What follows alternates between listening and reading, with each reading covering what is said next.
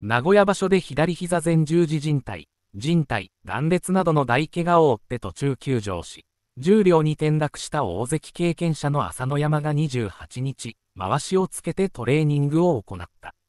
回しをつけたのは、敗れて怪我した名古屋場所4日目の前頭一山本戦以来、42日ぶり。年内復帰は絶望で、まだ土俵には立てず、部屋の地下のトレーニング室で上半身の強化にとどまっている。それでも、回復は早いと歩くことに支障はない。来年の本土俵復帰へ、僕の真のストーリーはここからですよと復活を約束した。この記事はいかがでしたか？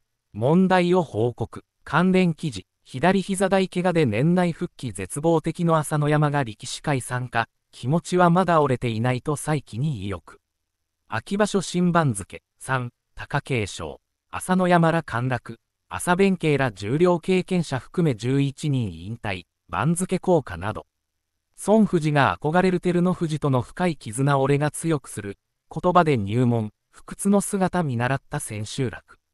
アウトローのカリスマ売田淳氏、絶縁した所沢の大孫逮捕、こいつは変わらない。宮城野部屋が春場所後にも閉鎖へ。